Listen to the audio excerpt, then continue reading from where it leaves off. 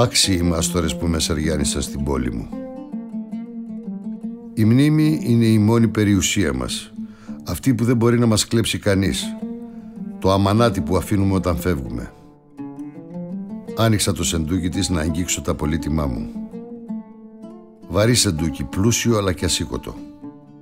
Τα χρέη της καρδιάς ζητούν μια εξήγηση. Μια χειρονομία, μια λέξη. Μια εξήγηση σε εκείνη που με μεγάλωσε, μ' ανάθρεψε και με έκανε παντοτινά δικό της. Κι όμως την απαρνήθηκα.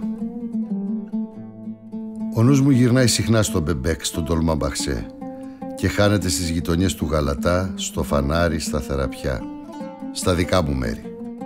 Εκεί που οι Ρωμιοί ανταμώνανε με τους ανθρώπους της Ανατολής και της Δύσης.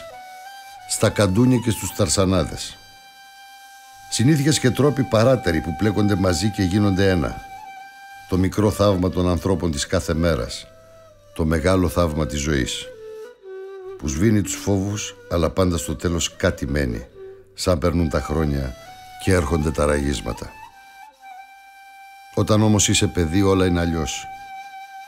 Στα ψαράδικα στο πέραν νομίζεις πως η πραμάτια της θάλασσας απλώνεται μπροστά σου πολύχρωμη σαν χωράφι.